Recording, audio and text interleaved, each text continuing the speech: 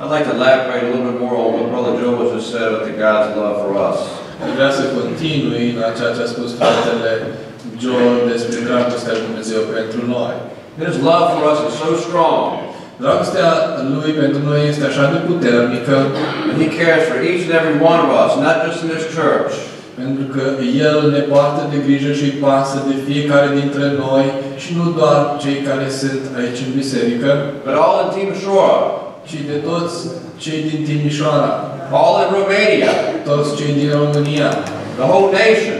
toată națiunea. He loves all His people, wants all His people to come back to Him. El iubește pe toți oamenii și El dorește ca toți- toți oamenii să vină la El. He knows so much about each and every single one of us. El cu- ne cunoaște pe fiecare dintre noi personal. That every hair on our, on our head is numbered. Pentru că fiecare păr din capul nostru este numărat. Amen. Amin.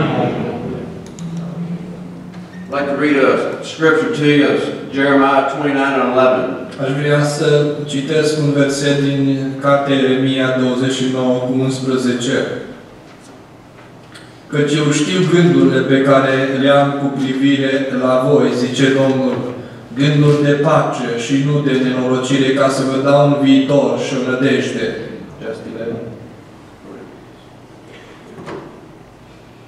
That right there is just, is, is just all I need to hear to, to know that God has a plan for each and every single one of you sitting in this congregation tonight. Chiar aici este suficient ca să știu că și Dumnezeu are un plan pentru fiecare dintre dumneavoastră care sunteți în seara aceasta aici. And He doesn't want to see you fall. Și aici vreau să vedem, He wants to prosper you. el, el nu vrea ca noi să cădem, El vrea ca noi să mergem înainte. Just as I shared in my testimony a few, few minutes ago, Așa cum am împărtășit din mărturia mea cu câteva minute în urmă. I failed Him, but He brought me and prospered me back to where I'm at right now. Eu am falimentat, dar El m-a adus înapoi și unde sunt acum. Only thing He asks is for us to seek Him in prayer. Uh, Un singur lucru care ne cere El este să-L căutăm pe El și prin rugăciune.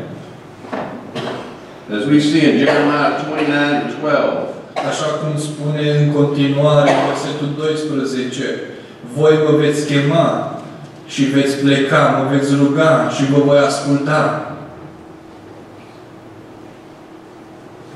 in the verse after that, he says you have to seek Him with all of your heart. Just as Brother Joel said earlier, you have to have your whole heart into this whole Și everything. versetul 13 spune că uh, trebuie să-L căutăm cu toată inima noastră, așa cum a spus fratele Joel. Kind of goes hand in hand with faith. If you don't have faith and you're on pray and you're praying, He's not listening. Merge mână în mână rugăciunea cu credința. Amen. Amin. So when I when I'm encouraged tonight to know that God has a plan for everybody in here, we need to all accept that. That's a fact. Acest, uh, a- acesta este un adevăr, ceea ce citim în Cuvântul lui Dumnezeu, că Dumnezeu are gânduri de pace, are un plan pentru fiecare din viața noastră. Este un adevăr, este un lucru, un planul lui pentru viața noastră. And whether it be big or small, Poate să fie asta planul lui Dumnezeu mare sau mic. In your minds, Sau în mintea noastră, our God does not care what, what, what size you may think it is, but you are serving our Lord.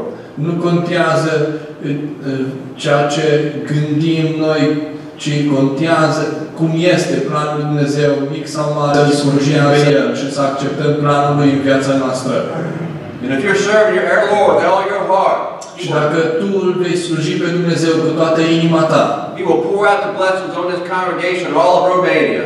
Dumnezeu te va binecuvânta pe tine și va binecuvânta uh, toată comunitatea din România. I would encourage everyone tonight in this congregation Aș vrea să vă încurajez pe toți cei care sunteți în adunare, to seek it through prayer ca să-L căutăm prin rugăciune, with all of your hearts cu toată inima noastră what the plan God has for you.